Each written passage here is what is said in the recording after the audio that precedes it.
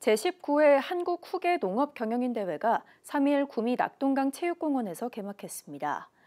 5일까지 이어지는 이번 행사 기간에는 유명 연예인의 축하 공연과 함께 가족 음악회와 구미 관광 투어 등 다양한 프로그램이 마련됩니다. 홍보 전시관에서는 지역의 우수 농산물을 전시하고 판매관에서는 경북 22개 시군에서 엄선한 우수 농특산물을 판매합니다. 어, 첨단 농업 도시를 지향하고 있습니다. 아, 앞으로 어, 스마트화, 어, 대규모화, 디지털을 통해서 그 농업의 경쟁력을 올리고 또 청년 농들이 청년 농부들이 구미에 많이 올 수 있도록 지원 시책을 해서 농업의 경쟁력을 높여가도록 그렇게 하겠습니다. 어, 농촌이 80%, 어, 공업이 20% 차지하는 구미에서 깨끗한 구미입니다. 아, 이거를 또 세계에 알릴 수 있는 그런 기회가 됐으면 좋겠습니다.